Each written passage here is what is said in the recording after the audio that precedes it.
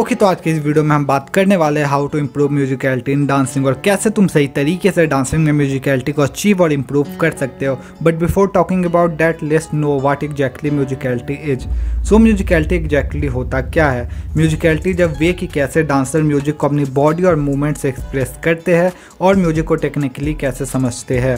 कैसे एक dancer music को सुनते हैं इंटरप्रेट करते हैं और उस म्यूज़िक पर डांस परफॉर्म करते हैं। डिफरेंट डांसर म्यूजिकलिटी को यूज़ करके म्यूज़िक को डिफरेंट तरीके तरीके से डेमोस्ट्रेट करते हैं। वो अपने डांस स्टाइल अपने कोरियोग्राफी स्टाइल अपने एक्सपीरियंस के बेसिस पे म्यूज़िक को समझते हैं और उसे इंटरप्रेट करते हैं by the form of dancing और एक डांसर के लिए म्यूजिकलिटी काफ़ी इंपॉर्टेंट है। If you are a good dancer but with lack of music sense ये तुम्हारे डांसिंग को काफ़ी ज़्यादा इफ़ेक्ट करेगी। फॉर एग्ज़ाम्पल अगर हम दो डांसर्स को देखें सेम म्यूज़िक पर डांस करते हुए, जिसमें एक ऐसा डांसर है जो म्यूजिकल करेक्ट नहीं है बट एक ऐसा डांसर है जो कि म्यूजिकल करेक्ट है, उसके पास डांसिंग और म्यूजिकलिटी की नॉलेज है तो तुम ये देखोगे कि जो डांसर जो म्यूजिकल करेक्ट नहीं है, जिसके पास म्यूजिकलिटी की नॉलेज नहीं है, उसकी डांसिंग तुम्हें डिसकनेक्ट लगेगी। तुम उसके इमोशन से, उसके एक्सप्रेशन से कनेक्ट नहीं कर पाओगे। But at the same time जो डांसर म्यूजिकल करेक्ट होगा, उसकी डांसिंग उसके मूव्स उसके इमोशन से तुम कनेक्ट कर पाओगे।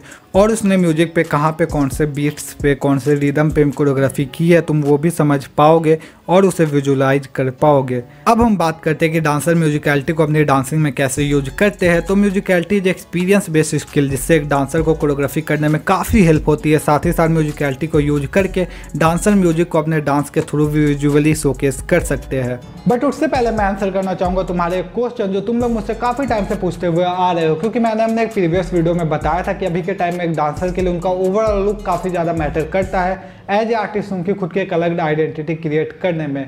और वो प्रोडक्ट है from company Bella Vita Organic also in this winter season तुम्हें तुम्हारी स्किन की केयर करना काफ़ी ज़्यादा इंपॉर्टेंट है और इसमें तुम्हारी हेल्प करने वाला है बेला विटा ऑर्गेनिक के ये सारे product Bella Vita Organic offer करते हैं various product for various problem first one is this glowing marks scrub and clean जिसके अंदर है walnut pink clay and rose जो कि हेल्पफुल है तुम्हारे स्किन को ब्राइटिंग एंड स्मूथिंग करने के लिए. इसकी पैकेजिंग भी काफ़ी अच्छी है और ये कंप्लीट नेचुरल प्रोडक्ट है. और अगर तुम चाहते हो तुम्हारी स्किन हेल्दी हो, वो ग्लो करे तो तुम उसके लिए यूज़ कर सकते हो, जिस exfoliate face and body scrub इसके अंदर है coffee walnut coconut oil and rock salt जो कि रिमूव करते हैं डेड स्किन साथ ही साथ वो डिटेन और पॉलिश करते हैं तुम्हारी स्किन को। ऑल्सो तुम ये सी ग्लो फेस वॉश भी यूज़ कर सकते हो फॉर रेगुलर यूज़ जिसके अंदर है vitamin C sandalwood honey coffee neem and lemon जो कि हेल्प करते हैं एक्सेस ऑयल कंट्रोल में एंटी एक्ने में de tan brighten and smoothing your skin में। और मोस्ट इंपॉर्टेंट ये गुड है सारी स्किन टाइप के लिए। And the next product is this Glowson face and body butter lotion जिसके अंदर है सिया एंड कोको बटर जो कि हेल्प करते हैं तुम्हारी स्किन को डैमेज से रिपेयर होने में। अगर तुम्हारी स्किन डैमेज है तो ये हेल्प करेगी, उसे नेचुरली रिपेयर करने में डीप मॉइस्चराइज करने में और तुम्हारी स्किन को ग्लोइंग एंड ब्राइटनिंग बनाने में। And the last and my favourite product is this Nicolif जो कि वर्क करता है, जो लिप स्क्रीन बाम अगर आप निकोटिन कंज्यूम करते हो और आपके लिप्स डार्क हो रहे हैं तो आप इस निकोलिप्स को यूज़ कर सकते हो। आपको सिंपली से अपने लिप पे अप्लाई करना है स्क्रब करना है और एक दो मिनट के लिए छोड़ देना है। फिर आप इसे वॉश या वाइप आउट कर सकते हैं। ये आपके लिप को डार्क होने से बचाएँगे, आपकी स्किन को रिपेयर करेगी। इसके अंदर present walnut beetroot natural butter help करेगी आपकी स्किन को लाइटिंग करने में। बेलाविट ऑर्गेनिक के और भी बहुत सारे प्रोडक्ट है। ये जितने भी प्रोडक्ट है, ये नेचुरल और आयुर्वेदा बेस्ड है। इनके सारे प्रोडक्ट आपको इनकी वेबसाइट पर मिल जाएगी। इनके प्रोडक्ट काफ़ी ज़्यादा अमेजिंग और अफोर्डेबल है। बट प्रॉब्लम ये है कि इन्हें मार्केटिंग नहीं आती है, क्योंकि ये अपने पैसे, अपने प्रोडक्ट की क्वालिटी पे लगाते हैं।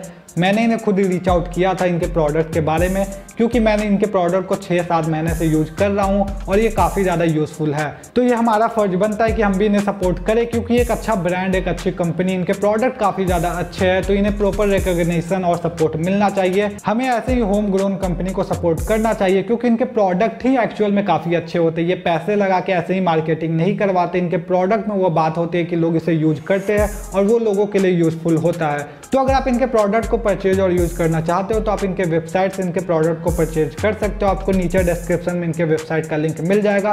तो जाओ प्रोडक्ट को परचेज करो, उसे यूज़ करो और इस कंपनी को सपोर्ट करो। Now back to video musicality को सही तरीके से यूज़ करने के लिए तुम्हें उस म्यूज़िक को सॉन्ग को अच्छे से सुनना होगा। देन उस म्यूज़िक के टेंपो के अकॉर्डिंग रिदम के अकॉर्डिंग और बीट्स के अकॉर्डिंग तुम्हें अपने स्टेप्स हुक करने होंगे और एक बेहतरीन कोरियोग्राफी करनी होगी। और उसके लिए तुम्हारे पास म्यूज़िक की अच्छी समझ भी होनी चाहिए। साथ ही साथ तुम्हें कुछ टाइम भी देना होगा। जितना तुम्हारा एक्सपीरियंस बिल्डअप होगा, उतनी अच्छी म्यूजिकलिटी सेंस बिल्डअप होगी। ऑल्सो एक चीज़ जो मैटर करती है, वो मैटर करती है म्यूजिकलिटी और अच्छी डांसिंग में, वो है बॉडी टेक्सचर और म्यूज़िक काउंट्स तो इसके बारे में हम इस वीडियो के सेकंड पार्ट में डिटेल में बात कर रहे होंगे तो इस वीडियो को तुम मिस मत करना। और इस चैनल पर अगर तुम पहली बार आए हो तो चैनल को सब्सक्राइब करना, ताकि उस सेकंड पार्ट की भी नोटिफिकेशन तुम्हें मिल जाए।